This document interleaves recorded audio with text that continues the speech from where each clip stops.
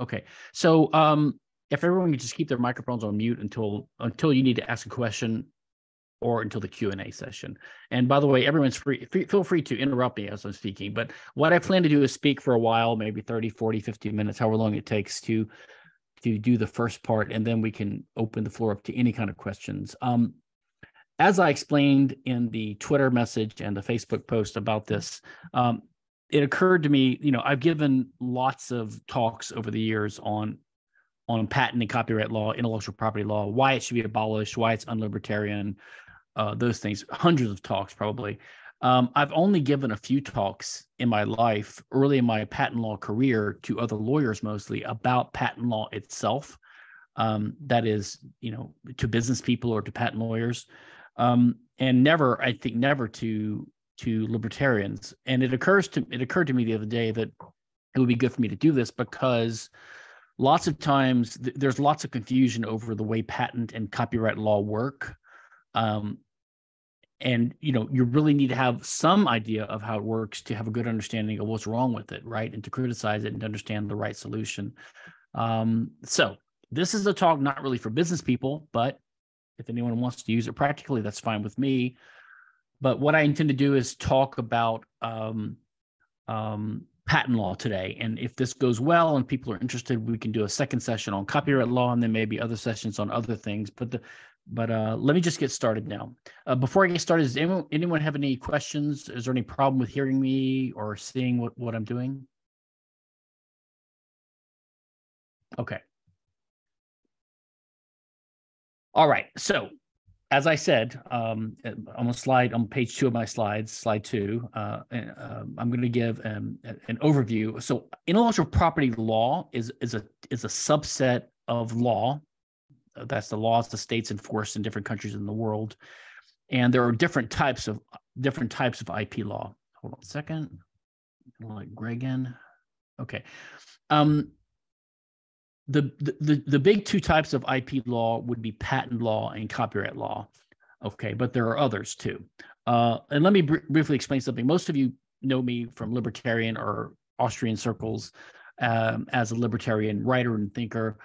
Um, I have been I've been a practicing attorney since 1992 and a patent lawyer since 93 and a registered patent attorney since um, since 1994.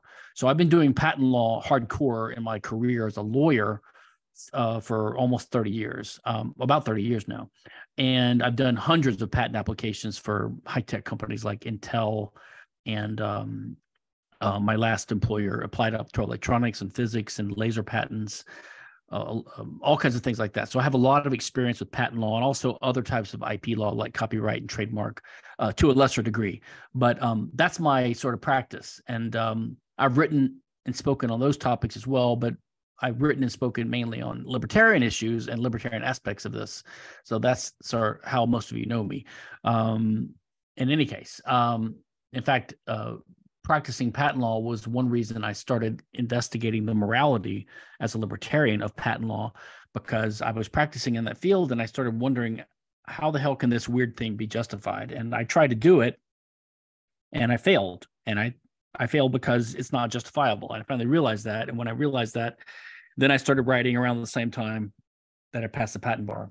I started writing on patent law from a libertarian point of view. So they co- they kind of go together, but I kind of want to focus today on the practical aspects and the real the, the real world aspects of patent law. Okay, so now IP intellectual property is a term that is fairly new. It, people came up with it in the late mid 1800s in response to criticism of patent and copyrights, which were viewed as monopoly privileges granted by the state. And the free market economists in the 1800s started criticizing it because it's contrary to free trade. and they started realizing this, and countries started abolishing their patent law, and they started thinking, "What the hell are we doing?"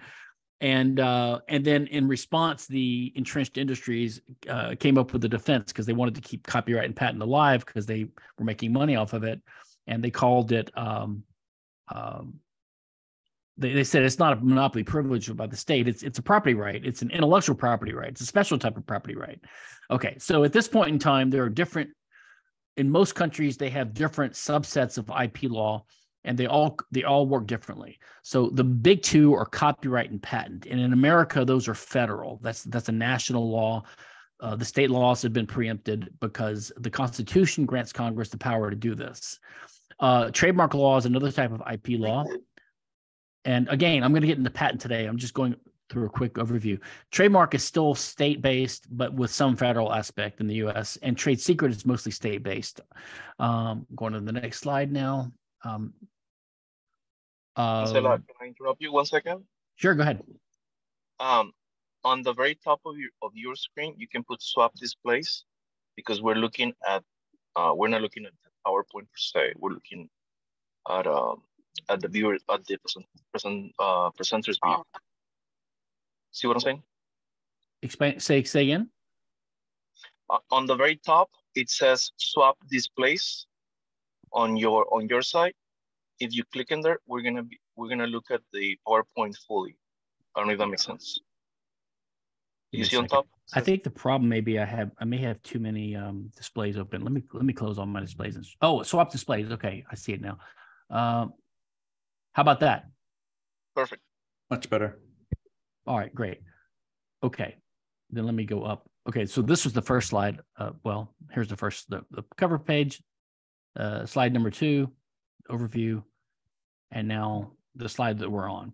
Okay, so in addition to patent and copyright, which are the kind of primary types of trademark uh, of, of patent of intellectual property, sorry, uh, trade trademark and trade secret are the other two.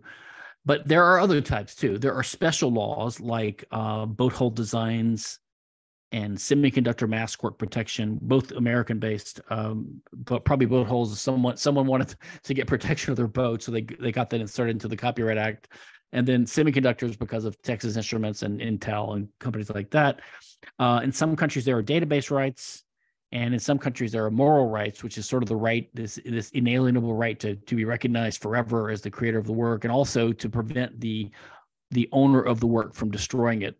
Uh, like you know if you have a mural painted on your refrigerator you can't sell your refrigerator or destroy it it's crazy. And then there are sort of special things that are not regarded as ip but they work the same way like you know it's illegal to use the nsa seal in america there's some special statute that's basically IP. And then, of course, as we all know, if you paint certain religious figures pictures on the cover of a magazine, you might get killed. That's kind of a type of privately enforced IP. Um, and then there's pro- always there's proposed rights, like all these things um, uh, burbling up through the Congress right now about forcing people to pay, uh, for- forcing internet providers to pay, and you know Google search engine and things like that, pay newspapers for using their headlines and their articles um, or there's always agitation to add fashion designs as part of copyright or patent. Um, and then now there's talk about um, this new artificial intelligence, how they, they, you know, the AI engines like ChatGPT and the other ones, they, they, they, they scour the internet for date for images and for text to, to build their, uh, their their models, and you know that's that's a type of copying. And then when they produce an output, that could be argued to be a copyright infringement to like a derivative work. So there's all kinds of applications of this kind of broad idea of intellectual property. Um, and I have talked, I have spoken about this a little bit, not about how it works, but about the types of IP in a couple of publications, like my Against Intellectual Property in the first section I think I call summary of IP law. I kind of try to summarize these things, and then I, I did a, a talk about twenty something years ago now um, for oil and gas lawyers when I was doing that as a as a practice, but I was explaining patent and copyright law and IP law to them. That's an old talk, but copyright law and IP law changes slowly, so that's still pretty pretty up to date. Um, if anyone anyone wants to look into it, and then there's all kinds of guides on on the internet, like you know the, these IP law for dummies and, and, and uh, things like that. Uh, but I'm going to try to go through that here. Okay, let me go through the history briefly of patents. So the patent system uh, is one of the, the, the the four main types of IP, and it's one of the two big important types, copyright being the other. Patents have to do with inventions. Copyright has to do with artistic and creative works.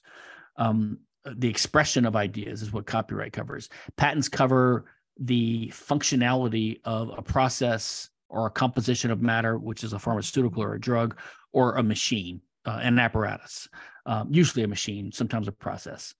Um, now, these originated in Europe And sort of the first modern incarnation of this was in 1623 in England, when the the parliament got fed up with the abuses of the of the of the crown, the king, in granting patents to court cronies, which were exclusive rights to do something. Okay, so patent just means it's a Latin word patente means open. So a letter patent was an open letter. So it was basically the king writing down on a piece of paper, Mr. X has the sole exclusive right to sell this product in this region, something like that, uh, or to do this. So it was it was like an exclusive anti you know anti-competitive protectionist grant that protected the person because he could show the letter to people, say, listen, if, if you if you sell playing cards in this town, I I have the right to do it because of the king, because this letter patent. Um, you're, you're, violating the king's command. It's illegal. You're gonna, you know, you're gonna be arrested or penalized. Um, so that practice got out of hand because the kings would grant these things out left and right to court favorites and often in exchange for favors. So they would say, okay, you're going to go to this new territory of the crown and we're going to give you the exclusive right to sell sheepskin. Um, and you can make a lot of money because no one can compete with you. But in exchange, we want you to help us collect taxes from everyone. Okay. So it was a way of buying buying loyalty and buying um, favors from from the the, people lower than you in the hierarchy.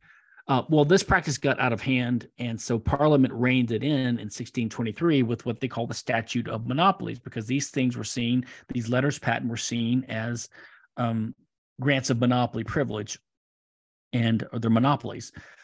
so the Statute of Monopolies said, look, the king cannot do this anymore. However, we're going to let him keep doing it for inventions. So you can still keep granting a letter patent to someone if you think they've come up with some new invention, uh, some practical process or device or gizmo. Um, and so the king kept granting patents on occasion for for inventions. So that's how. And nowadays we think of patents as patents for inventions, and that's because that's the only thing that remained after the statute of monopolies of 1623. Now, still, it was a it was a, it was sort of a discretionary power of the crown. It wasn't really a bureaucracy. There was no institutionalized patent application system. You would just go to the king's you know, um, secretaries or whoever and say, look, can you please ask the king if he would give me a, a, patent on this invention? And sometimes you get it, sometimes you didn't. Later on, the process became institutionalized and democratized um, with the first General Patent Act uh, being enacted by the, the colony at that time of South Carolina in America in 16 in 1691. Um, and then the next one, I guess, that would be of note would be after the United States. Uh, after the United States was uh, was founded in 1770, well, you could say 1776, 1785, when we when we won the uh, uh, the Revolutionary War, the War for Independence against Britain, and then um, and then in 1789 the Constitution was ratified, and as I have here on slide page number four, the, uh, Article One, Section Eight, Clause Eight of the Constitution, which is what grants Congress the, the limited and enumerated powers that they have. It says power has Congress has the power to promote the progress of science and the useful arts by securing to limited times for limited times. That's why patent and copyright don't last forever. They have to last for a limited finite time. To authors and inventors, the exclusive right to their writings and discoveries. Okay. And by the way, as a matter of historical curiosity, um, the word science and the arts was used in a sort sort of way backwards to the way that we use them now. In the clause there, you'll see how science is listed first and goes with authors and writings. Arts goes with inventors and discoveries, and that's because the word science is part means knowledge, right? That's why you know you have a, a conscience is conscience. Uh, science means the um, um, uh, the art uh, means knowledge, and that referred basically basically to writings.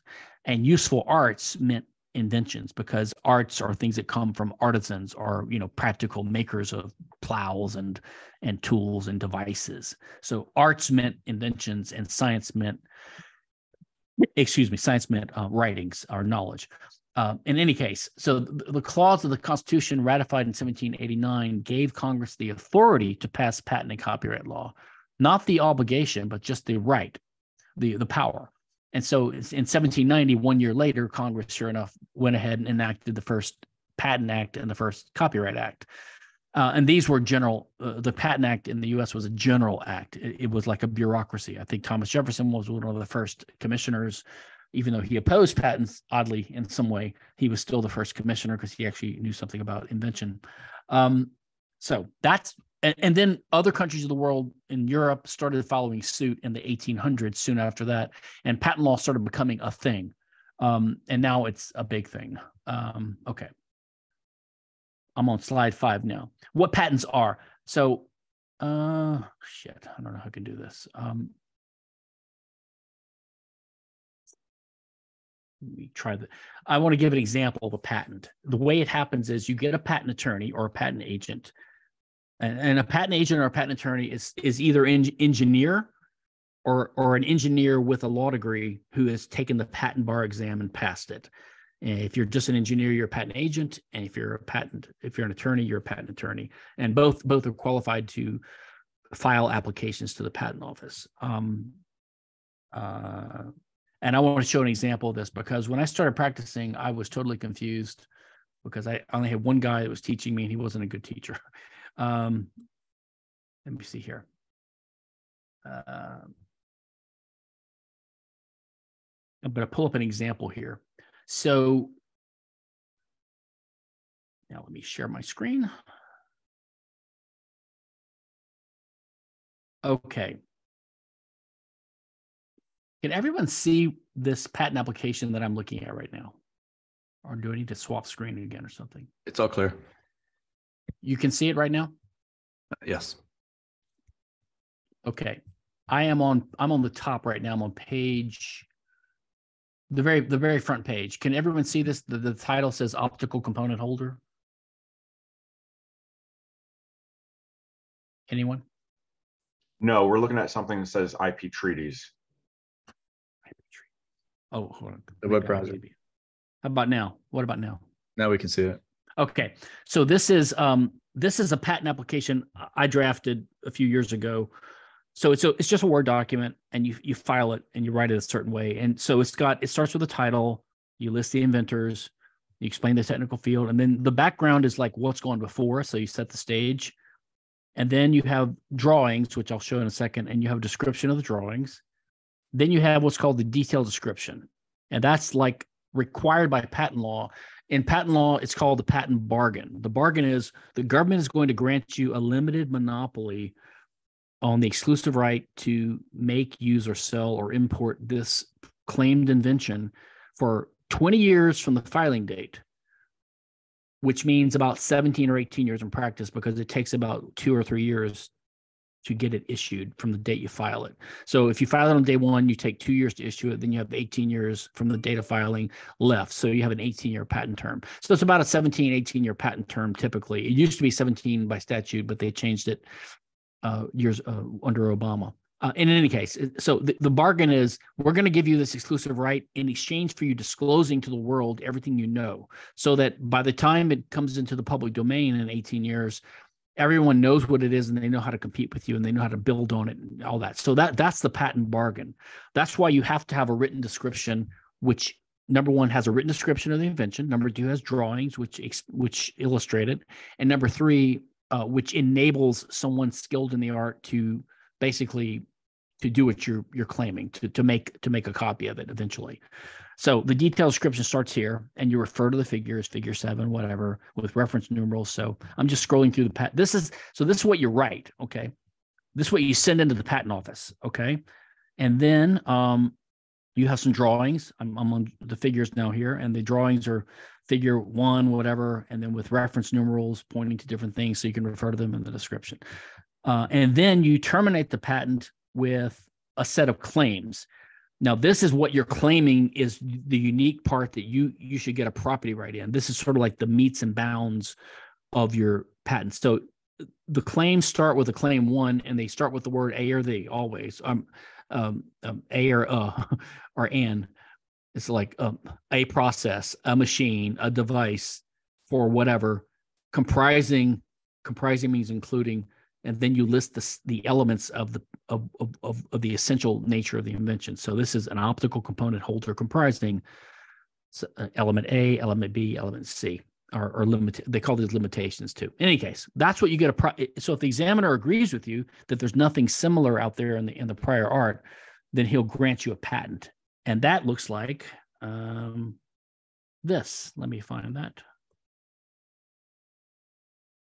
Oh, by the way, so when you when you practice when you file the patent, the, the patent office keeps a record, and then going back and forth to the patent examiner is called, for some reason, I don't know why, it's called prosecution. Probably just to confuse laymen. Uh, it's, it's not like um, a criminal case, but it's called prosecution. You're prosecuting the patent. You're trying to get it issued, and it's it's called um, it, it's not adverse. Like third parties are not part of this. This is all secret. It's only between the patent attorney of the uh, of the inventor or his cor- or his company's employer and the patent office. So it's like a one way proceeding. So there's all these obligations to be ethical and to be disclose everything. So this is a, a. This is the patent office um, prosecution history. So you see, it starts at the bottom. Like I filed this on December 6, 2016, with the specification, the drawings, the claims, and the abstract. That's all part of the patent application as a power of attorney. And then there's all of the things. And then later on, um, you know, I get a, a, a, a, an office action from the examiner. He says, I need you to change this in the claims. So then I'll have an amendment. You see, I file an amendment. And if it satisfies him, or I may be, I may be, I may disagree with him, I may argue with him. So this process goes on for a couple years. You see, so finally the patent was issued, uh, or I got an issue notification in August of 2018, about two years later, saying, okay, it's going to issue in a couple months if you pay the fee. And then that results in the issued patent, which is um, here, patent 10054-762. So it shows kind of the features, the information I gave them in a format, you know, the title, the, the first inventor, the assignee, who's the owner. Uh, it shows my name as the attorney, Norman Kinsella. Uh, so it's got, and then different classification fields for international filings. There's an abstract, which is like a summary, and drawings and claims. Anyway, that's what a patent is. And by the way, up until I think two days ago, when the, the patent office apparently switched to a paperless, some kind of electronic certificate uh, grant of patents, uh, up until two days ago, um, you were issued a paper copy, and the the one original copy was called the red ribbon copy because it actually came with a red ribbon attached to the front cover. That's the picture of one right there. So it's like a gold foil embossed kind of seal with a red ribbon on it. So that's called a red ribbon copy. Oh, you don't really need that for anything. Uh, you can sue someone for patent if you can prove you have one. Okay, let's get back to PowerPoint. Um, Is the uh, red ribbon uh, copyrighted like the uh, seal? Is it copyrighted? What do you mean? Yeah, like you mentioned that the NSA label, you can't uh, replicate that. I know. I don't think no. Not that I'm aware of. I mean that it, that that might be a type of fraud or something if you did that, you know, in a certain in a certain way. Um, okay, I'm back on my slideshow. Can everyone see the, my slideshow? yes. Okay. Now, there's something you should. So when the patent is granted, then you have a property right, so to speak, in the in the claimed invention. And the the first thing to look at is claim one. You have these subs these subsidiary claims like claim two, three, four. They're called dependent. So the first claim is always an independent claim. It stands by itself. Then you know a device that does the following.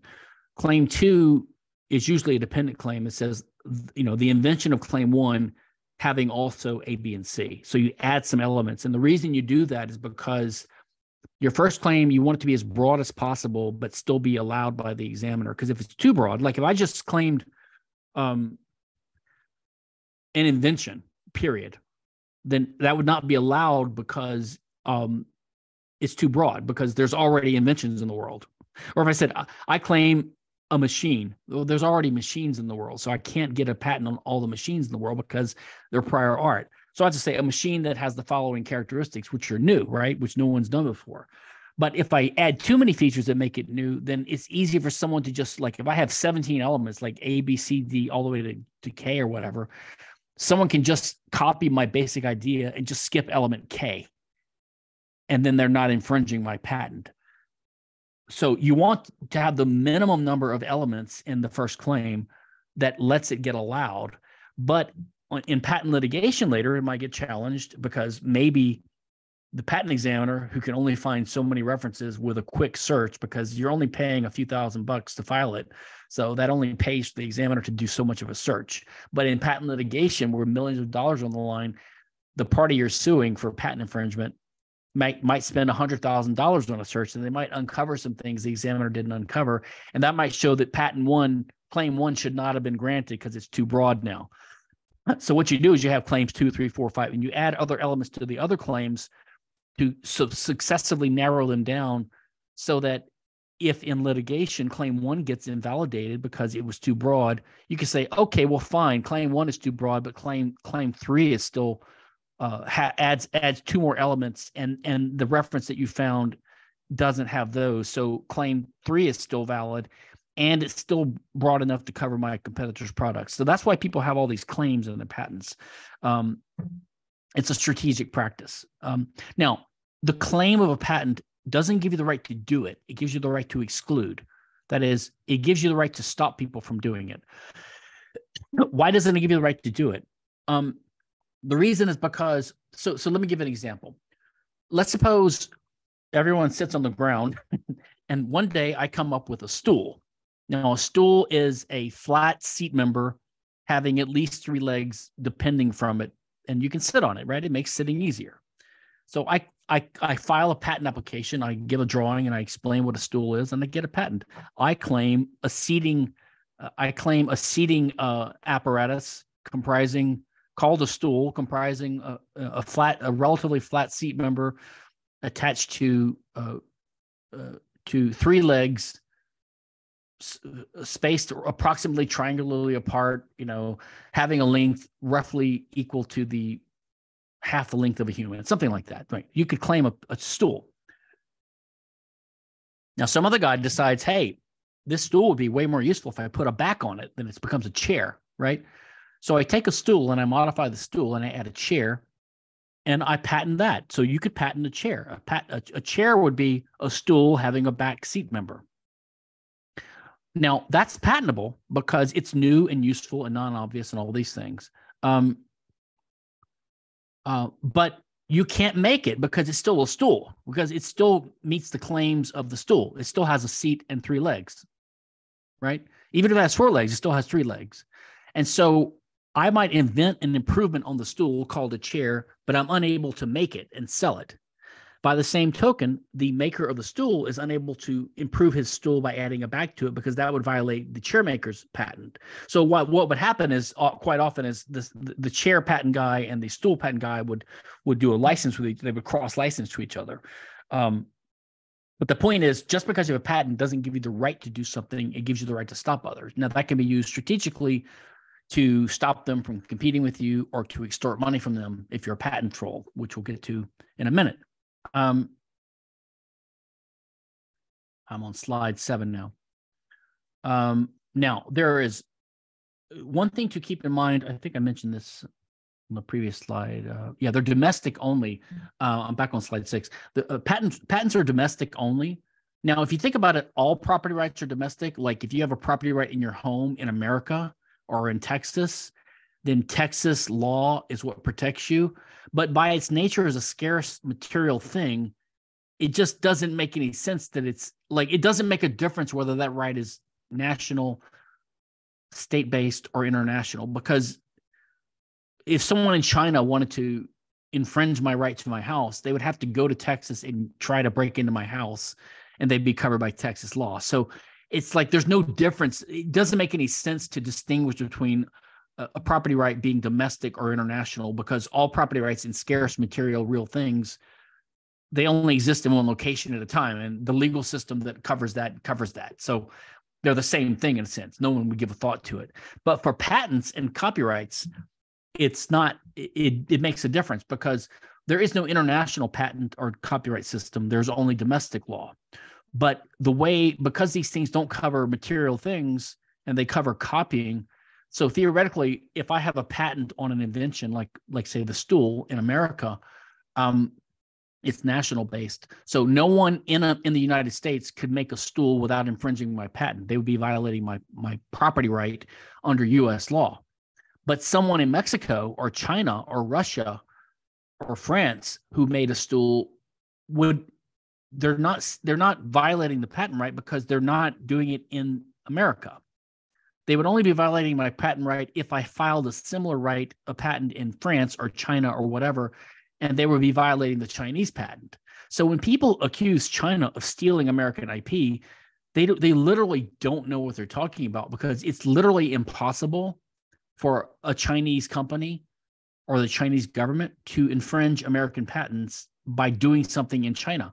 If if Apple has a patent on the on the iPhone, and if some Chinese company makes a complete pure knockoff of the iPhone in China, that literally is not an infringement of US patent law, even by US patent law's terms. It doesn't purport to cover things outside the US. Now, Apple probably would have a local patent in China, and the Chinese firm would be violating Chinese patents, and they have a Chinese patent system just like we have a US patent system everyone acts like they don't have one, but of course they do because we've been successful in exporting our IP laws to other countries. So they do have, they would have a patent there, but it wouldn't be violating US patents. I think what they usually mean when they say China is stealing US IP, uh, and say, by the way, the same thing's true for copyright. If if uh if someone is selling a CD in China which has American songs on it, it's a it's not a violation of US copyright it might be a violation of Chinese copyright, but if they don't have a copyright or patent system, then it wouldn't be a violation of anything. Uh, you know, there was a time in the 1800s when some countries like Italy and the Netherlands uh, abolished or never had patent rights because they thought they were ridiculous. So companies were free to pirate other, not pirate, but copy other companies' pharmaceuticals without any, without violating any law, any law whatsoever. I think what they're talking about is um, this remember the types of IP include trademark, patent, copyright, and also trade secret. Um, and what happens is China doesn't have a free market um, like the US does. Like in the US, it's more permissionless. You can just open up a company doing whatever you want you don't have to ask for permission. But in China, it's more of a light, it's more of a socialistic bureaucratic system where you have to get permission to do things. You got to get a license from the local city or the local, the local region or the local province, and then the maybe the national government. So there's all these licenses and permissions you have to get. Like if you want to open up a an American company wants to open up a manufacturing facility in China, you got to get all these permissions. So what happened because they don't have a free market, you got to get permission. And when you get permission, the government can use that to extract promises from you. Like you got a promise to hire so many people locally. Um, and you have to partner with a local firm here. So we can claim that we're promoting local business. That's called a joint venture. So quite often, if Apple wants to open a manufacturing facility, they have to use a local Chinese company or they have to open their own facility and partner with a local company. Now that's the price of doing business. Now, if you don't want to open a facility in China to save money, you don't have to. But if you want to, you have to uh, do what you have to do to get the license, and that might mean partnering with some locals. And when you when you partner with locals and you hire locals, guess what's going to happen? Same thing that happens in America. You have employees that sometimes steal the you know they violate their non-disclosure agreements and their employment agreements or their joint joint, joint venture agreements and they they leak the information that's supposed to be proprietary this trade secret information so if Apple's building a new iPhone, you know, some employee might take a photograph of it when they're on the assembly line and sell it to one of their buddies, and then soon you have a uh, you have a, a, a knockoff company making, you know, making a making a, a version of that of that good. And that is you could say that's a violation of trade secret law but it's a, but it's it's what it's what's going to happen when you have employees.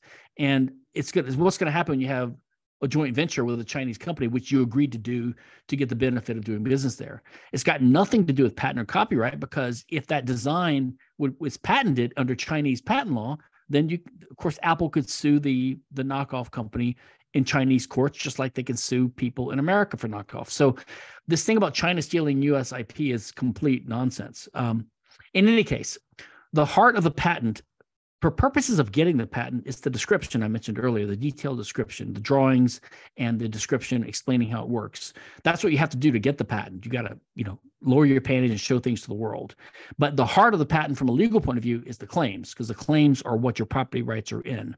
And again, as I mentioned earlier, patents are the right to exclude, not the right to practice. with the stool and chair example. Okay, now on seven, I've got a post explaining. It's just incredible all the legislation that's out there um, covering patent and IP law. Uh, it's just a morass. That's why you need specialists like me um, to decipher it for you because no one can understand this. But there are, as I said, patents are domestic, but there are international aspects to patents. Uh, those are primarily the following three or four treaties. Number one, the Paris Convention from 1883. So that allows you to file in one country, like in the US, and then within a year, you could file um, in other countries. So I could file on day one in the US and say six months later, I could file a UK patent and a Chinese patent um, and a Russia patent or whatever, claiming the priority date of the US filing. And then the Patent Cooperation Treaty, which came about about a century later in 1970, uh, is more it's like the paris convention but it's more unified so you, you could just file a pct application so so let's say i file in the us on day one and it costs like say ten twenty thousand dollars to pay the patent attorneys and the filing fees and all that now let's say a good one third or one fourth of the patents that you file if you're a large company are eventually going to be either unimportant because you don't make the product that you were planning to make that the patent it covers, or because the patent office rejects the patent and you never get it. So if you were to file a hundred or or twenty patent applications in different countries, you're talking that ten thousand or twenty thousand dollars multiplied by, you know, 10 or 20 or 30 times it could be millions of dollars to file in every so most most patents you only file them in one country or in the crucial countries like america Europe, the European Patent uh, uh, Treaty, China maybe. Um, but even then, what you might do is you might file one patent application in the U.S. and then six months later you file, or three months later you file a PCT application, and that gives you like uh, two and a half years to wait to decide whether to file in another country. So then you have time to to decide financially whether it's worth it. Anyway, it's just a thing people do. Um, and then there's the uh, the TRIPS aspects of the WTO agreement, and this is what sets down minimum standards. Like, so if you want to be part of the WTO, your patent law, although it's domestic, it only covers your country, but it has to have certain minimum standards. Like, it can't be two years. You need to be at least X years. I don't know if it is, but most countries are about 17, 18 years, like I said. So um, you have to have certain minimum standards. Um, this is how the US pushes um, and, and, Western countries push our IP laws on other countries with these agreements, and also other agreements. I'm going to go to the next slide now, slide eight, uh, like uh, um, bilateral investment treaties and free trade agreements. We sneak into those things like, oh, if you want a free trade agreement with the U.S., you need to expand, you need to increase the length of your copyright term by 20 years to be more like us. Canada actually did that recently, just hoping to join a treaty that never got never got passed. Um, so I call this IP imperialism, and I've got some blog posts about that. Um, um, okay, so so most countries in the world including communist countries like Cuba and North Korea and China and Russia, Soviet Union, they all had patent laws. It's not like a capitalist Western thing. In fact, I would argue IP is socialistic because it's, a, it's institutionalized interference with private property rights, as I argue in my policy talks about why patent law should be abolished. Um, so I think actually IP is a socialist policy. But anyway, most people view it as a capitalist Western thing because the word property is in there because of the dishonest uh, nomenclature used by the by the uh, by the patent whores um, to call it IP rights. So people think it's a property rights thing, so they think it's the Western thing. So they are actually surprised when it's it's uh, they they find out that Cuba and North Korea and Russia and Soviet Union, uh, everyone Vietnam, they they all had they all had patent law and copyright law. Um, okay, now, as I said earlier, so so to get a patent, you have to give a disclosure and all this. But patents, what what do they cover? I already said what they are. They are an exclusive right to practice an invention, but that means the subject matter of patents is inventions, right? So trademarks cover like trade names, like things that identify the source of goods. Trade secrets is proprietary information that's useful to you if, as long as it's kept secret. That you keep something you keep secret. Uh, copyrights have to do with um, original creative works like novels or paintings or movies or you know, things like that. Um, it, uh, patents cover inventions, which are which are practical processes or apparatuses or devices that can do something useful. So to get a patent, you have to satisfy, say, four basic criteria. This according to the Patent Act in the US and it's similar in other countries. So number one, you have to have statutory subject matter, which means it's an invention. So you can't get abstract ideas like E equals MC squared or math or physics theorems, even though those are useful too. They're too they're too much part of the universe or something like that. And you can't get a patent for for artistic works. You know that's what copyright covers. Um, I think there was one interesting case where someone was selling a measuring cup where it was like a half of a cup, but it looked like a cup measuring cup, and all the lines in there would say like a half a cup halfway down, but it was for half a cup. So like if you wanted to have your measurements, you could just take a cup. Like if the recipe said a half a cup, but you wanted to make half the recipe, you could use the half a cup cup thing and go to half a cup. And like, if you were too stupid with with math or algebra, I don't know. Um, and so there was a there was the question was, well, you can't get a patent on this because it's it's about it's about a writing and that's what copyrights cover. But the, I think the, the court said, no, no, this is actually functional because it helps you solve a problem. Anyway, you have to have statutory subject matter, which is usually easy to satisfy. Um, has to be useful. You have utility. Uh, and that's usually easy to satisfy too, because most inventions, uh, the examiner just assumes that it, that it works. Um, by the way, you don't have to make a working model anymore. To you just have to file a piece of paper describing the invention, that's called a constructive reduction to practice. A reduction to practice would be actually making a working model. Now, the patent office used to require a working model, and they still have the option to ask you to turn one in if they're not clear about how whether it works. But I've never made one in my life. Usually, you can brainstorm with an engineer in a, in a room, a conference room, in 15 minutes you could say it would be neat if you could just move the resistor over here and that would that would make room room for this and that would make a better device and you could just describe that and file a patent on it. And the day you file it with the patent office that is called constructive reduction to practice. It's like a fiction. Um, in any case if you file something that seems like a perpetual motion machine like joseph newman did these he had some kind of idea for using magnets or something to like magnetic particles to have a, a machine that can generate electricity for free. He never could make it work because perpetual motion is actually impossible. So if the examiner can detect that there's perpetual motion being claimed in your invention, he will reject it for not having utility. Um, and then also like if you if if you made a device the only purpose of which would be to like to destroy humanity or something, that would be claimed to have disutility, not utility. So you couldn't get a patent on that either. I've never had these problems in my practice making lasers and things. Um, the two big requirements are your invention has to be new or novel, uh, which means no one's done it before. And it's also got, and the most difficult step in the final one, it's got to be non obvious in view of what was known before or or or you have to have what's called an inventive step. That's what they say in Europe. Now, this one is arbitrary, and uh, so basically, the examiner he finds one or two or more prior art references which are not exactly on point. If they were exactly on point, then your invention wouldn't be new.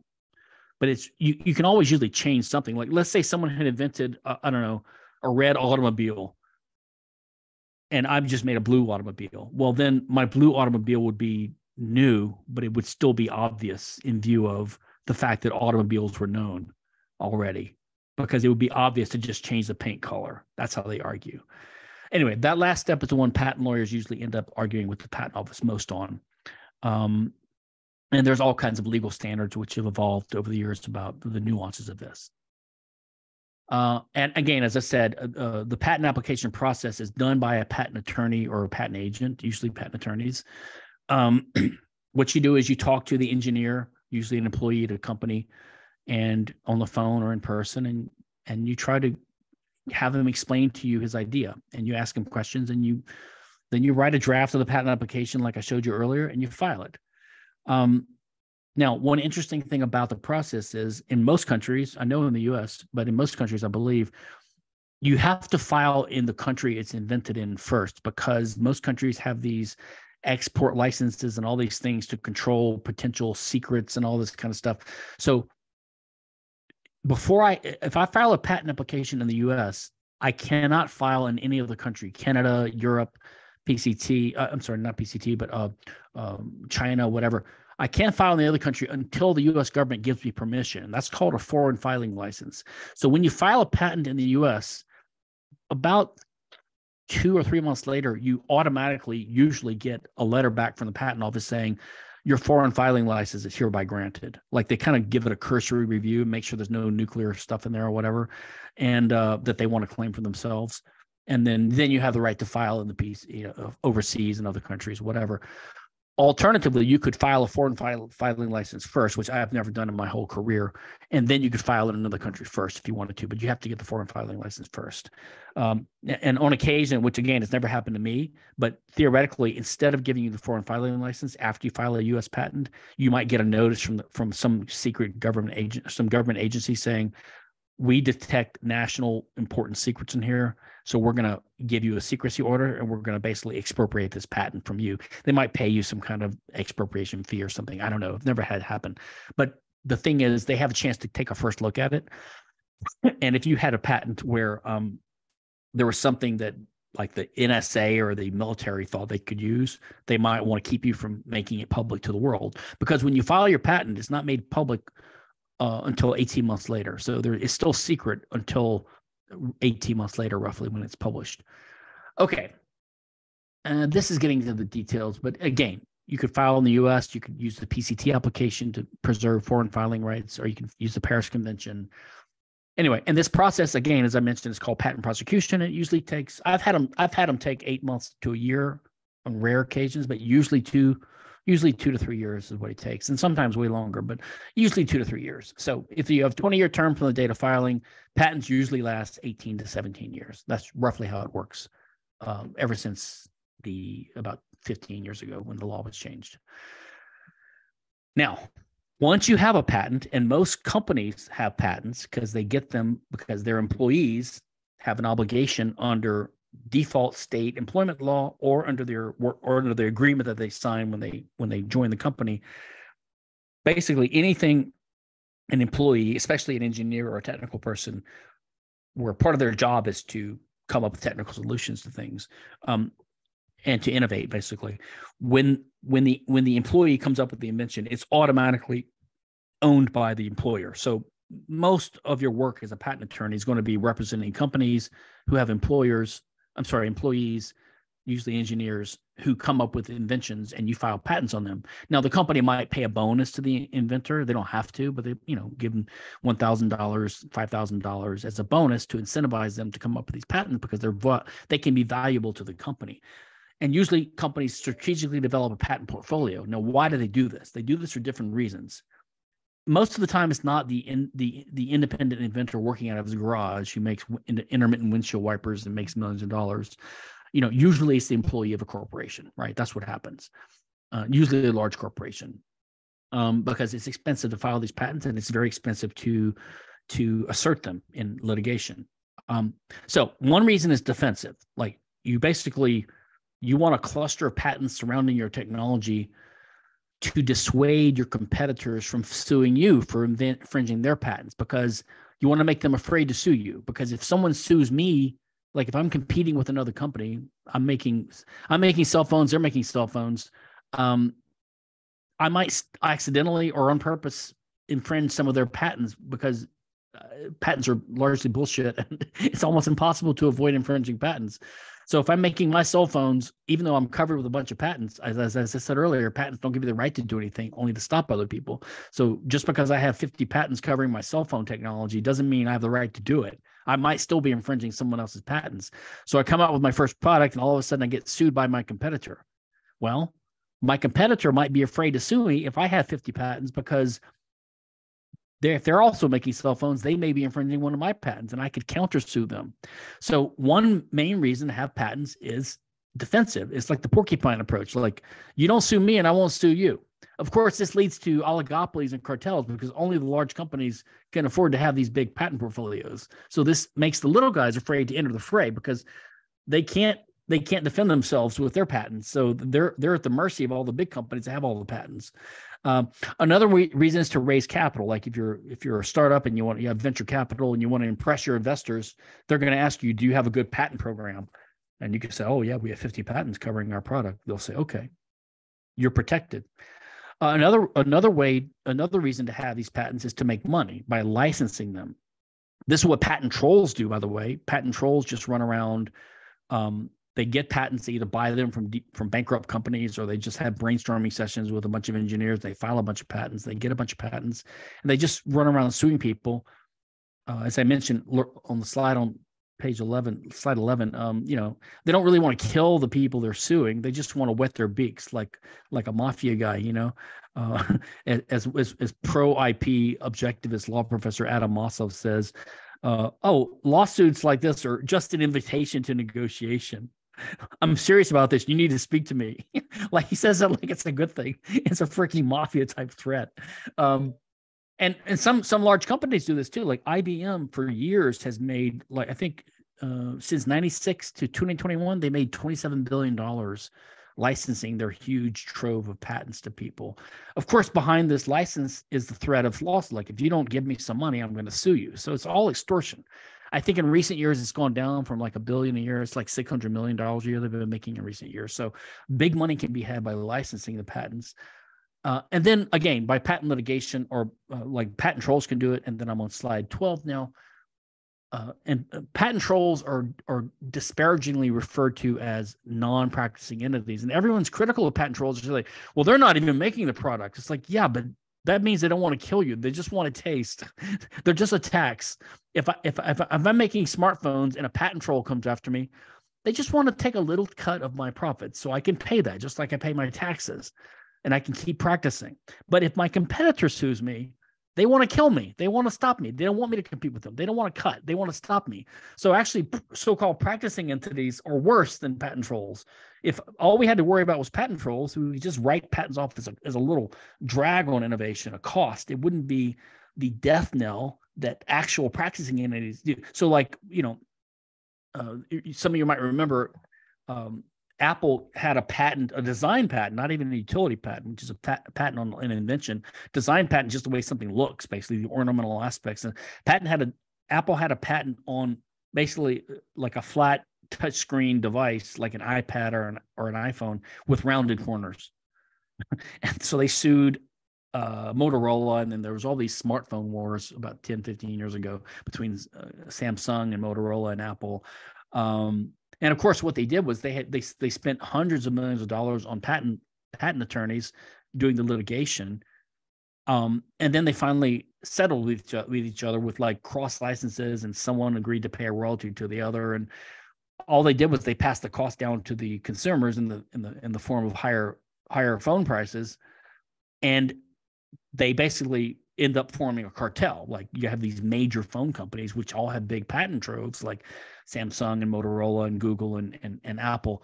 And uh, if you were a startup company, you wanted to make, you know, Stephan Kinsella's new smartphone.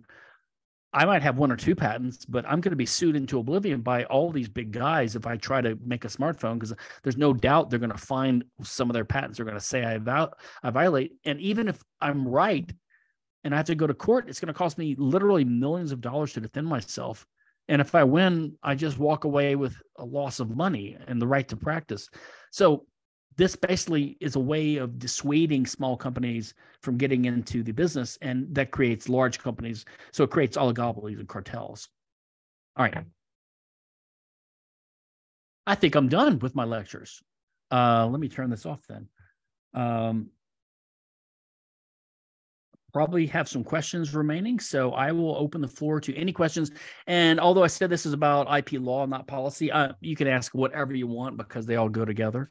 So uh, everyone feel free to unmute yourself if you want to ask a question. Uh, oh, are you familiar with the uh, Wright brothers being uh, patent trolls? Yeah, vaguely. I think uh, Boldrin and Levine cover some of that in their book uh, Against Intellectual Monopoly. And um, yeah, of course, a, lot of these early innovative industries um, were embroiled in litigation. It distracted them from their original focus. And if I remember, I don't remember the facts exactly, but um, there were so many lawsuits and there was so much uh, damage to the to the fledgling airline aviation industry in the U.S., which you know basically started here with the Wright brothers. but uh, that was the late 1800s. So by the time World War One broke out, when airline airplanes were starting to be useful for for warfare, uh, the entire um, uh, American um, uh, aviation industry was like decimated because of these stupid patent wars. So I believe the original airplanes had to be they had to go to France to get them or something. Finally, there was some kind of government mediated settlement, and then the U.S. industry started up again. But it but this is an example of how patent battles can can delay technological innovation for uh, for for a generation. Uh, there was there was a type of television technology about 12 years ago.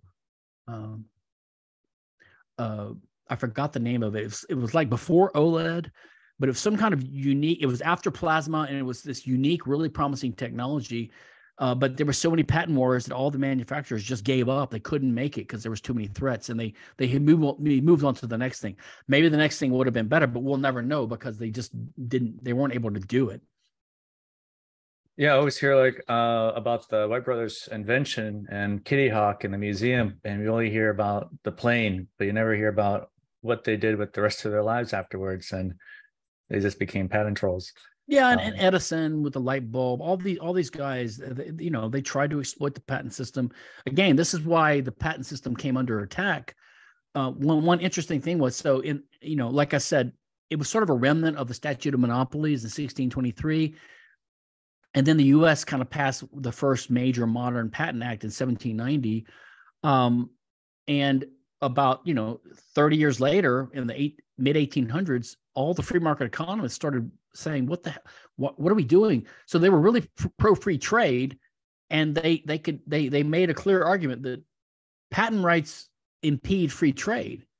So all these countries started going, yeah. So there was like a strong movement in the mid 1800s to abolish patent law, and it was started it started working. Some countries abolished their patent law, others refused to implement it and it looked like it might have been on its way to being phased out because it was just like a remnant of the protectionist mercantilist era of previous centuries but then what happened was in around 1873 there was a major world recession and um and when that happened everyone got really paranoid and they started being hostile to free trade and so mm-hmm. because everyone was hostile to free trade they stopped listening to the economists who said patents are a bad idea because they're contrary to free trade. And so this patent abolition movement just collapsed and patents had their were able to survive and prosper and then they got so entrenched because all the inventors like Edison and and and and and, and the Wright brothers these kind of guys they're like you can't take away our patent system we need this to for you know so so it got entrenched and now we have today's situation where everyone uh, everyone just assumes patents are a natural part of, of, of any private property system.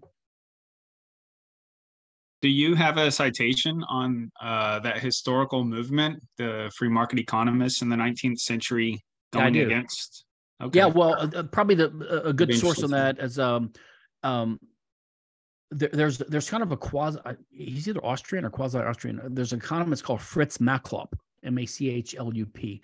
Um, and in 1950, I believe, he and Edith Penrose, it's on my website, c4sif.org. Um, he and Edith Penrose wrote a, wrote an article about the 19th century patent law movement and and why it collapsed. That's a really good article. I think Machlup summarizes it um, later in a 1958 study he wrote for Congress on the patent system as a whole, which is also on my website, c4sif.org. So look for Fritz Machlup and Edith Penrose, something called the 19th century patent movement or something like that. Thank you, Stephen. That's an awesome source. Appreciate it. Uh, could somebody uh, you mentioned like some of some of these people had to go to France to kind of uh, escape uh, the harsh patent regulations here in the 1800s and sometimes to go to China. Could uh, somebody make like a avoid all that, uh, build an, an oil rig like structure out in the ocean, international waters, and avoid infringing on anyone and build what they want without being sued or um, prevented? Well, probably they could build it out there, although you know th- there's dangers of flying without a flag, right, and being um, being out in the open. Uh, but the problem is that what you, you the patent right covers making, using, selling, or importing a product. And so if you made a bunch of knockoff iPhones on this uh, oil rig in, in, in international waters, what are you going to do with them? If you want to sell them in any country, like you sell them in the in the U.S., you'd still be violating the U.S. patents because you're selling them there or importing them there. And and all the customers would be violating the using part; they'd be using it, so it, you'd still be you'd still be covered. I mean, the only thing you could do is make them. So so let's let's say you're even Apple is probably not going to patent the iPhone in every country in the world because it's just too expensive. All you need to do is patent it in the countries, the biggest markets like Europe and say America, or the or the countries where it's likely to be made, like say China. Because if you have that covered, you have the endpoints and the start points covered. Now, maybe you know, maybe uh, maybe Liechtenstein, maybe you could make them in Liechtenstein to sell them to Liechtensteinians because you're not going to have a patent in Liechtenstein. but you know, the market is too trivial for that. Is uh, Liechtenstein the uh, patentless uh, paradise? Uh, no, it's, it's just that it's a small country, and you probably, like I said, you wouldn't you wouldn't have a, a patent in 193 countries. You'd have it in the top X countries. So the the small countries would you would not have a patent in the small countries. Hmm.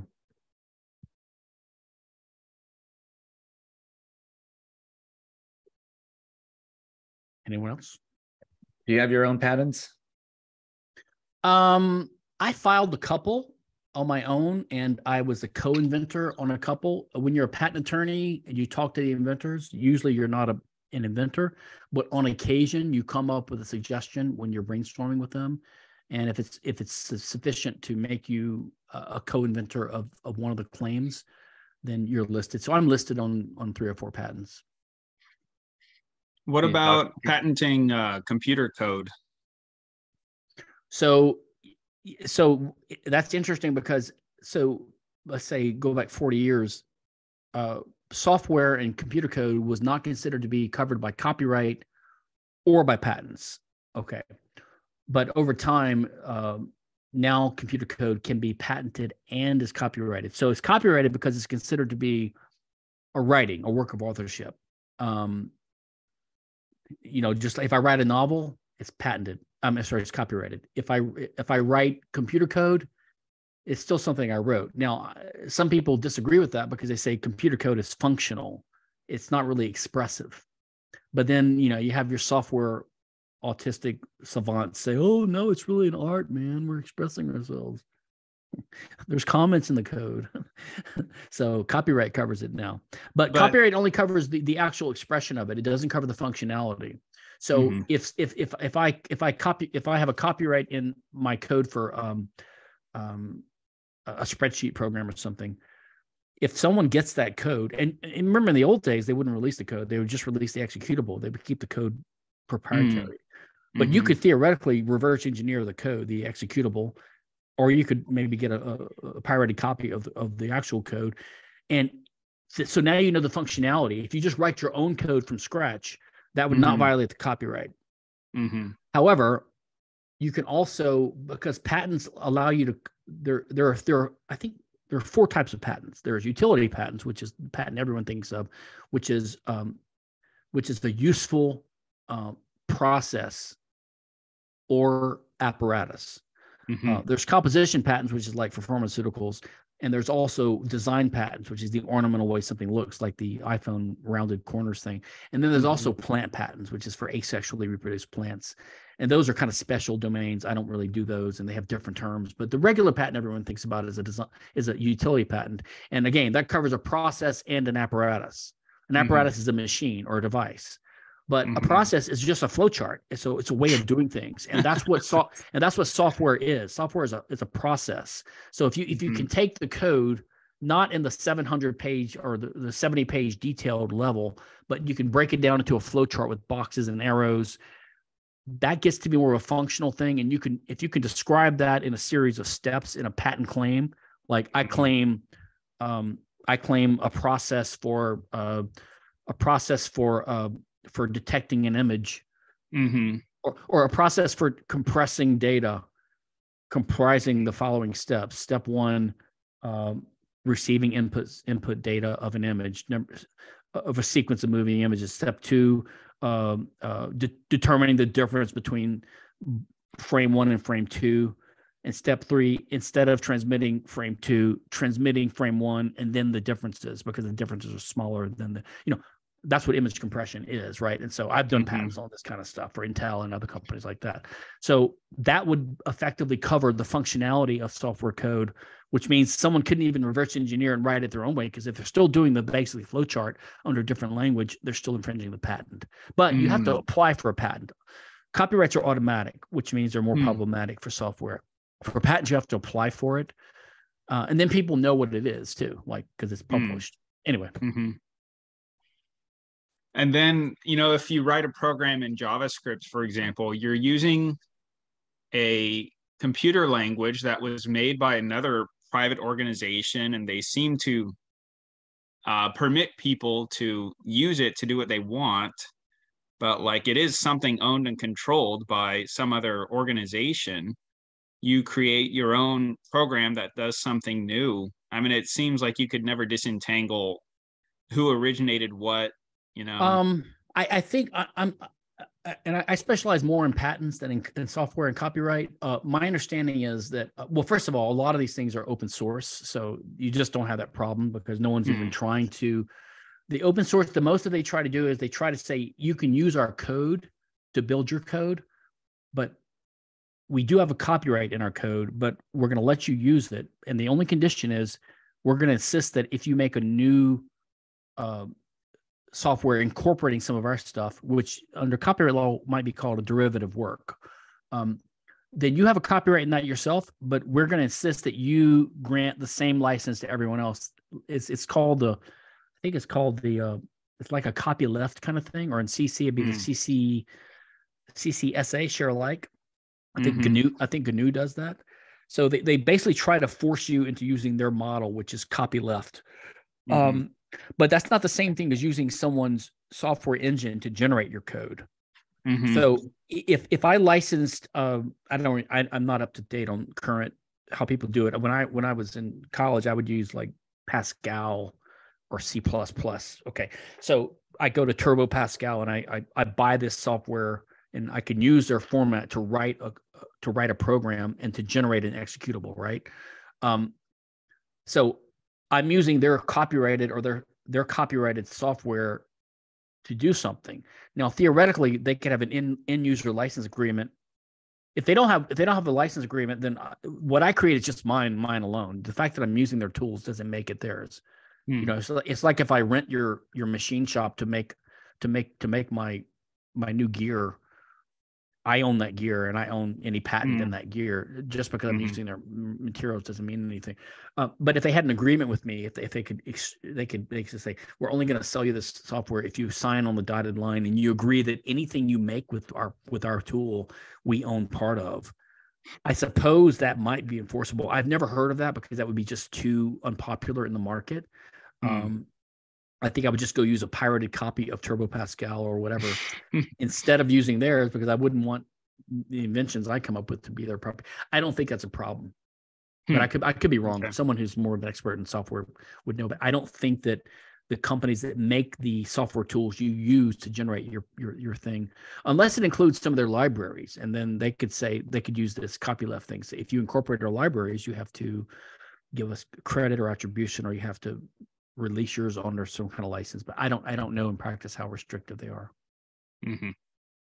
I, th- I, think with software and coding is that it's uh, uh there's always a next upgrade, a new next uh, update every week. Uh, it's always uh, changing. Uh, I think it makes it impossible to try to nab it and try to patent it right away when the next week is just going to be a different version, and that makes it the, the present one obsolete, like uh, like fashion. I think it's difficult to copyright fashion. I think be in the same realm.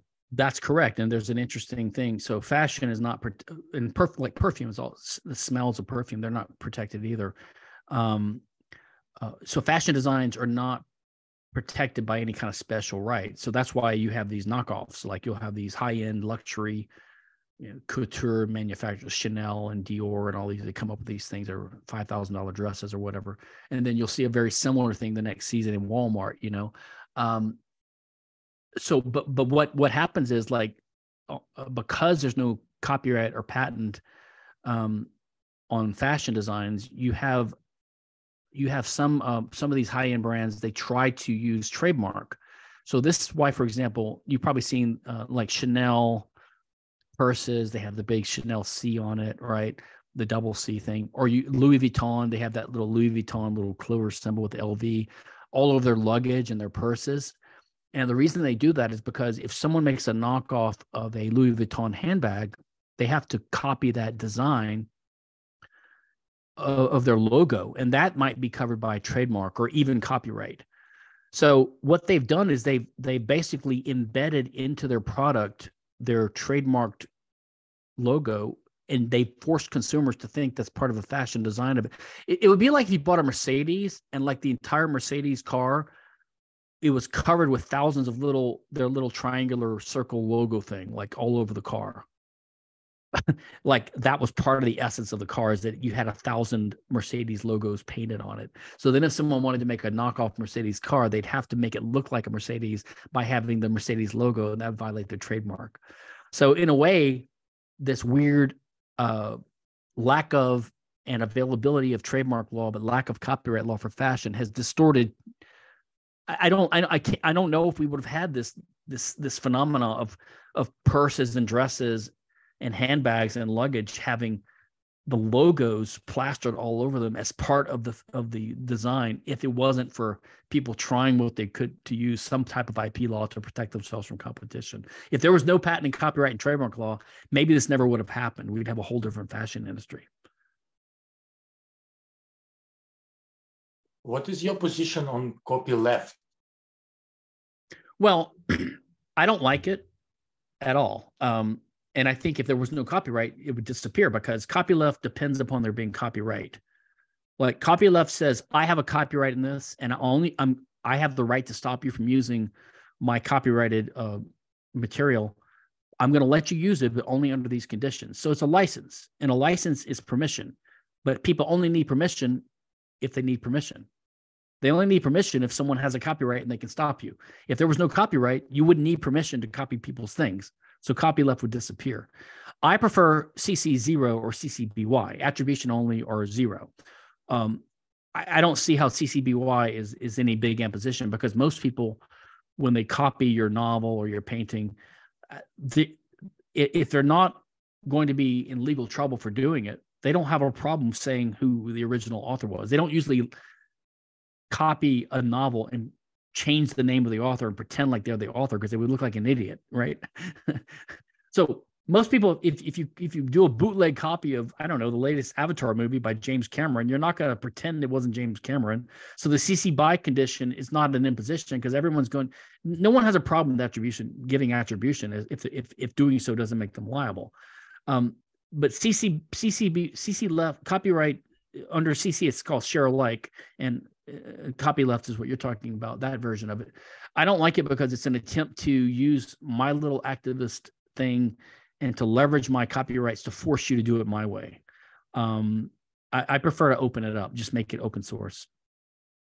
So for example if i published if i published a, a novel and i released a cc0 that means anyone in the world is free to reprint it even with their name on it or they can make a movie uh, based on it. Now let's let's say i publish a novel and someone makes a movie based on it they would actually have a copyright in that movie because it's a derivative work but i don't have any rights in it because i've disclaimed my copyright in my book.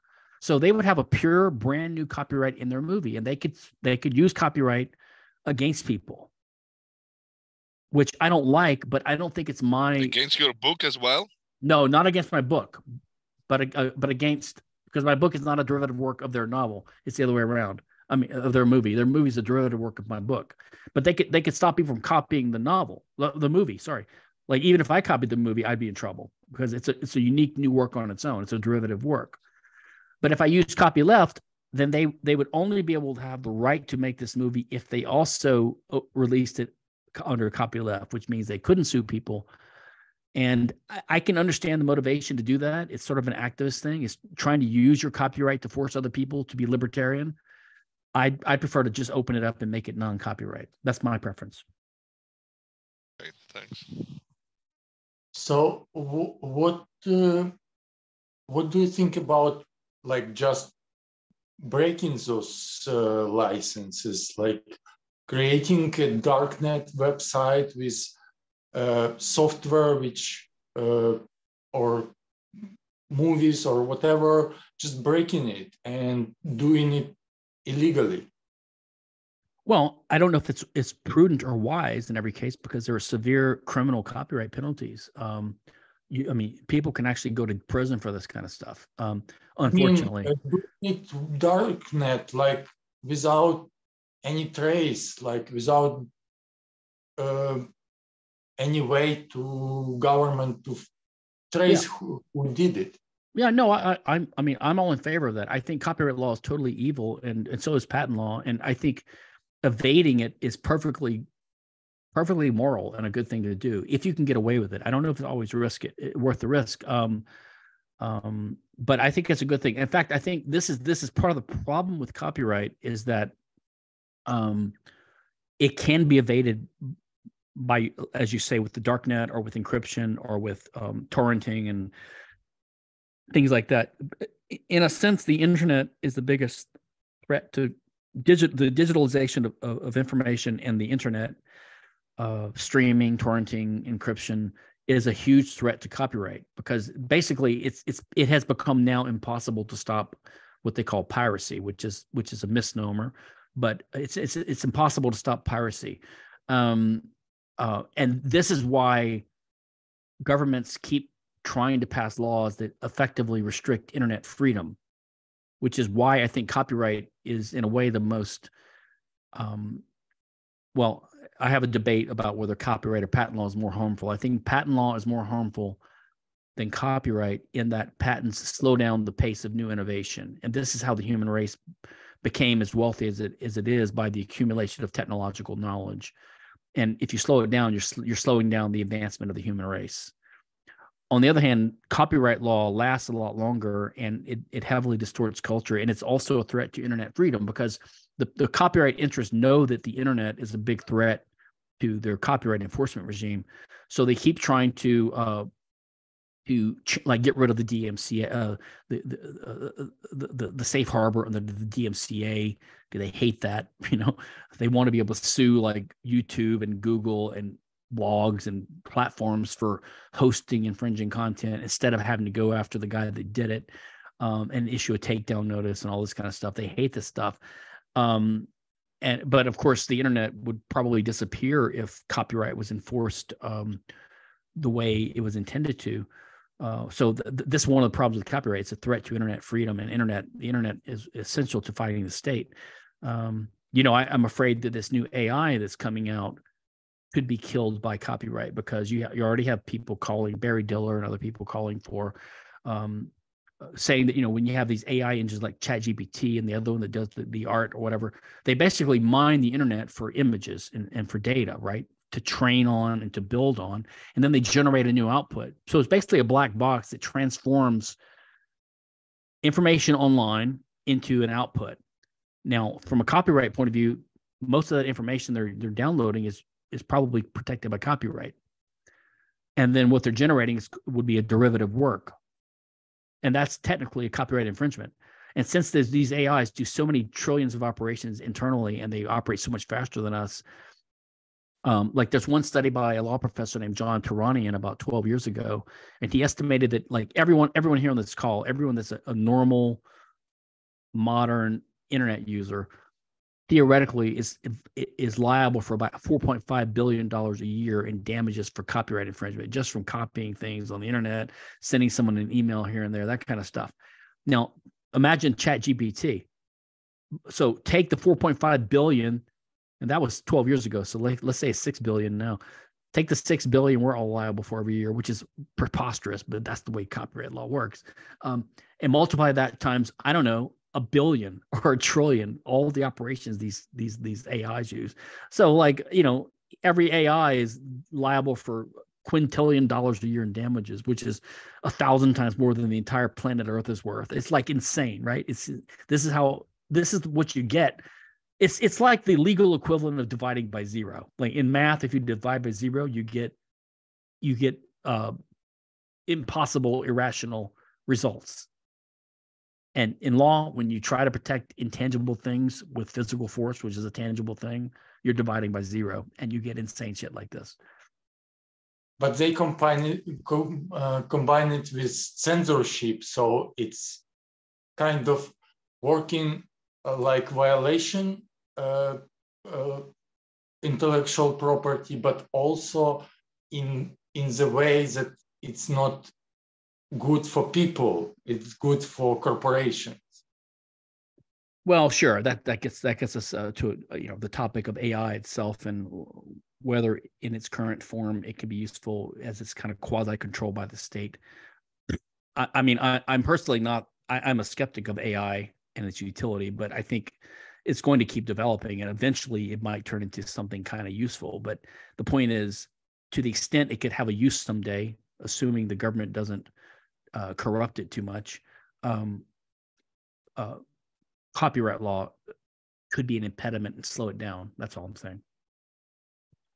So you haven't used uh, ChatGPT with your uh, uh, lawyering and attorney work?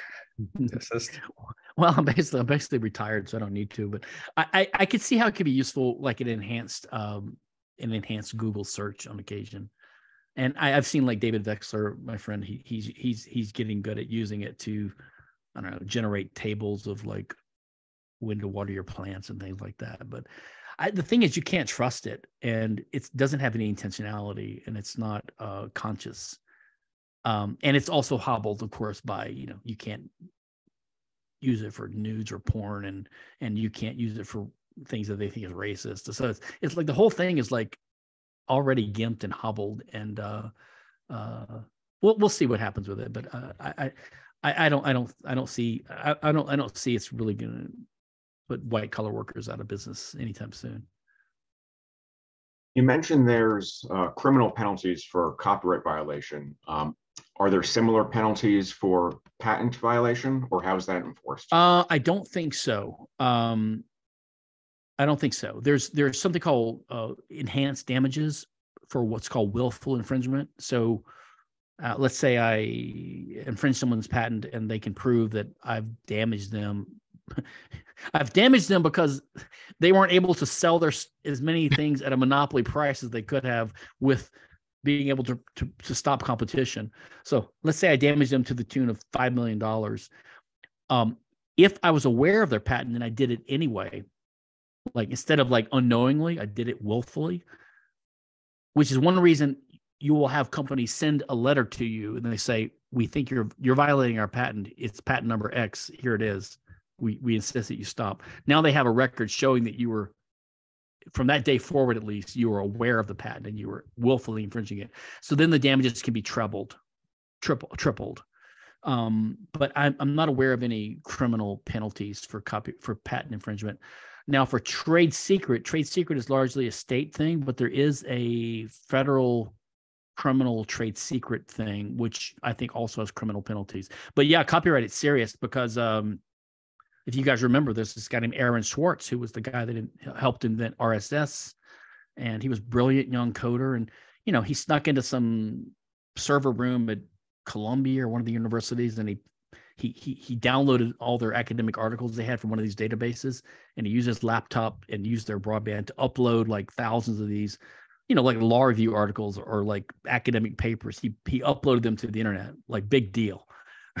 and he and he got caught. He was facing like 20 years to life in federal prison for just uploading academic articles to the internet. And so he he committed suicide. He killed himself because he he couldn't handle it.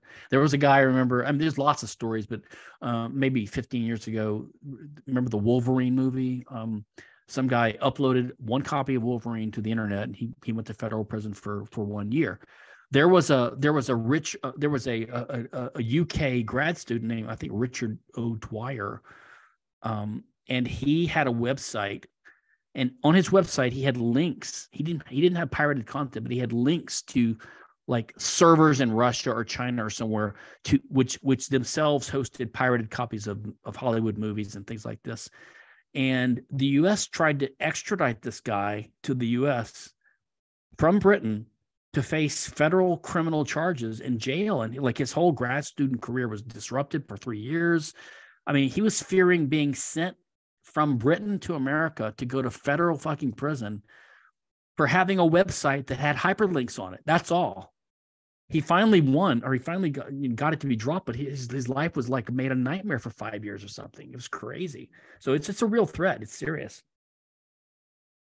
So when it's domestic only, how could they argue that a Brit that's never been to America broke a American federal law? I th- uh, I don't know the details. I assume they were arguing he was violating British copyright law because Oh, okay. because Right. there's the Bur- the Berne Convention, basically, which all the all the countries of the world, or all, almost every country that I'm aware of, uh, is part of the Berne Convention, which requires every every country that's a member to have a copyright law with certain minimum standards.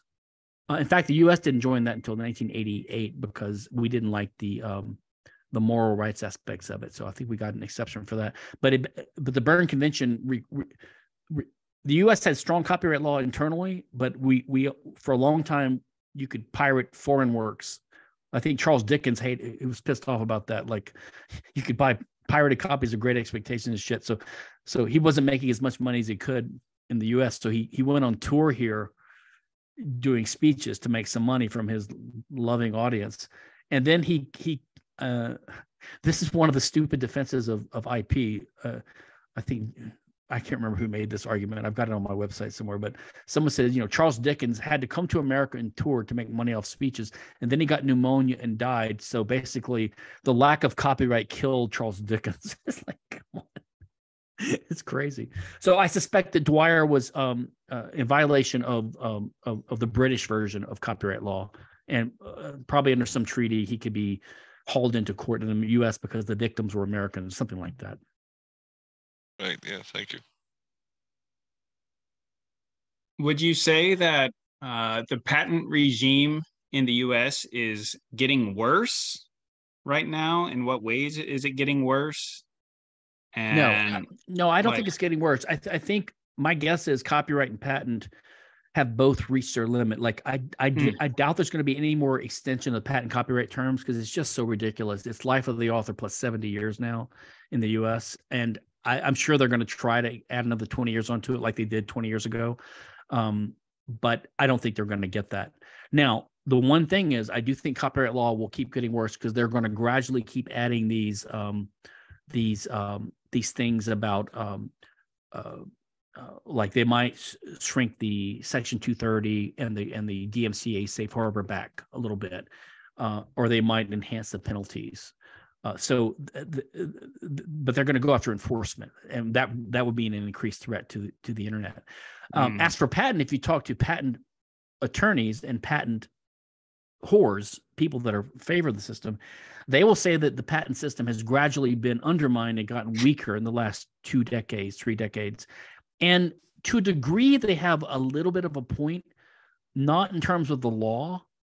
Uh, the law is irrelevant. The statute was changed under Obama, but it, it, it was changed in in in in in trivial ways from the point of view of the average victim of, of like for example we went from a first to file system i'm sorry we went from a first to invent system to a first to file system primarily because basically every other country on the earth has a first to file system. We want we want it to be like them. Uh, but so all that means is in some cases inventor a will win the battle instead of inventor b. But from the point of view of the industry, it doesn't matter whether inventor A or B owns it because it's the the threat to innovation is still still the same thing. I don't. I mean, if I'm going to be shaken down or extorted by someone, it, it I'm not going to be upset that it was inventor B instead of inventor A. Oh, I wish it was. I wish it was the guy that was the first to invent instead of the first to file that's, that's suing me for a billion dollars. It doesn't matter. Um, there have been some court decisions which have um, and to my mind, they're all roughly favorable because they slightly reduce the the the damage done by the patent system. So one example was a case I don't know several years back um, where it made it a little bit harder to get an injunction to enforce a patent. So before this decision, I think it was about seven, eight, nine years ago. Um, maybe it's called Alice. I can't remember. But um, before then, if you if you won your patent infringement lawsuit against someone, you pretty much had an automatic right to get the court to issue an injunction where the court says you must stop selling this product.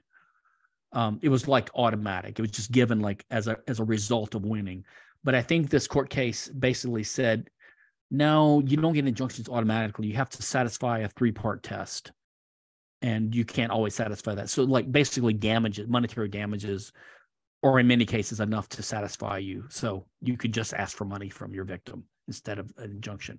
Uh, and and so some of the proponents of IP as a copyright, I'm sorry, patent as a property right, they think that that undermines its its state its status as a property right because you can you know if you own a house you don't just get damages of someone squatting in it you get to kick them out right so they think that if you actually have a property right in, a, in an invention you should be able to get an injunction as a matter of course but now it's harder so but it should be harder because injunctions are, are horrible and uh and there's a couple other things like you know maybe uh, some abstract ideas are not going to be subject to patents that would have been, but it's roughly the same as it used to be. I don't think it's, I don't think patents will get any worse or any better.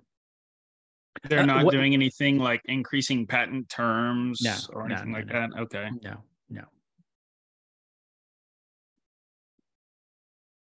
Is there a fair use equivalent in patent law? Something No. like that? No. No. There's something in patent law called the doctrine of equivalents. And the doctrine of equivalents says that um, when you have a patent, the patent right is what's defined in the claims, let's say claim one, and it's defined by what they call the limitations of the claim or the elements of the claim. So let's say you have a claim with, say, four elements A, B, C, and D.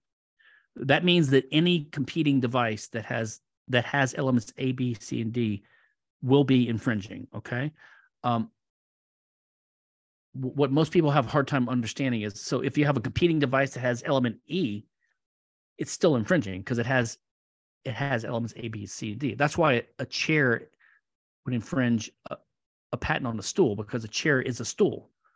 A chair is a special type of stool because the chair still has a seat and legs, and that's all the patent. So the patents patents have the word comprising, which means includes. It doesn't mean consists only of. If you had a patent claim that said, "I I claim a sitting device consisting exactly of um, a seat and three legs," well, then if you had a stool that had four legs, it wouldn't be infringing. Or if you had a seat, a, a stool with a with a back, it wouldn't be infringing because it wouldn't be exactly only a seat and legs. But that's why patent lawyers don't claim it as consisting. They say comprising, includes, right? So it just means the competing device just has to have that bare set of elements, even if it has other things. Now, under the doctrine of equivalents, let's suppose let's suppose I had a patent on something and it was let's say I had a stool and I said let's say I had a a, a patent um, on a um, on a stool and I said I claim a sitting device having a seat and three legs nailed to the to the seat. And someone else says, "Oh, okay. Well, I'm just going to use a screw instead of a nail to get around the patent because the patent says nails, it doesn't say screw."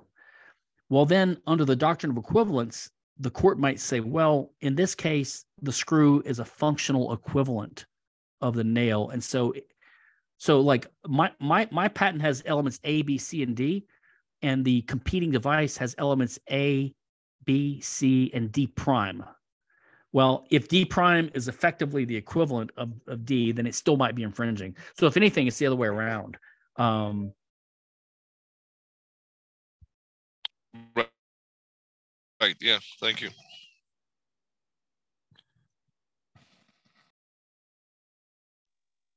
anyone else? Anything at all? Anything about IP law? Policy, practice? So in practice, how many new patents do you get? Like, are they issued every week on a Monday, or Uh, how I- often do you have to read the news to know if you're impacted or not? Well, that, that, that- that's what that's part of the, the the the problem with this. You know, you know how like in the law we say that ignorance of law is no excuse, which which makes Right. sense if law is natural law because everyone, you know, the idea is that natural law is engraven on your heart. Every you you can't say, oh, I I raped this girl, but I didn't know I wasn't supposed to rape her. Like you can't claim ignorance of the law if it's natural law or murder or whatever, you know. But if it's arbitrary law, thousands of statutes, and no one no one even knows how many no one knows what the law is and no one knows how many laws there are. Like no one even knows this right? Maybe maybe chat gpt can figure out someday. But i mean it's it's i think when laws made artificially by statute it actually ignorance of the law should be an excuse in my opinion but but unfortunately it's not. Um same thing with the patent system. It's impossible to keep up with it. Uh patents are issued if i recall every tuesday once a week they're issued. Um but no no one keeps track in fact like i said earlier if you're aware of a patent then you might be guilty of willful damages or treble damages. So there's also there's almost an incentive to keep your head in the sand and not to not investigate the patents out there because if you're making a new device, you kind of don't want to know if it's covered by a patent because that's only going to make you potentially liable for more damages down the road. so yeah, you, you don't keep up. Now, if if you if you want to go into a certain area, you can, you can pay someone to do a patent search in a given area. And there are hundreds of subcategories in the patent office, the way that patents are done. But of course, it's impossible to scientifically do this right um, because it's, it's arbitrary categories. Yeah, insane. Thank you.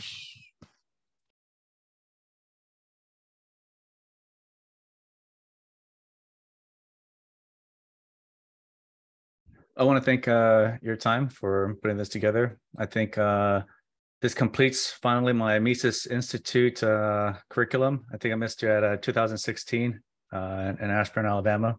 Uh, but you did write a sign that book for me against intellectual property, so I appreciate that very much. All and right. this course that you provide. Well, so my plan is, uh, I think I'll cl- go on and close now. Um, but I think my, my plan is um, maybe if everyone thinks is a good idea, I welcome you- maybe in the email we, we wrote earlier, you can write me back and let give me your thoughts on this. Um, I maybe do another one of these next week or something like that uh, on copyright.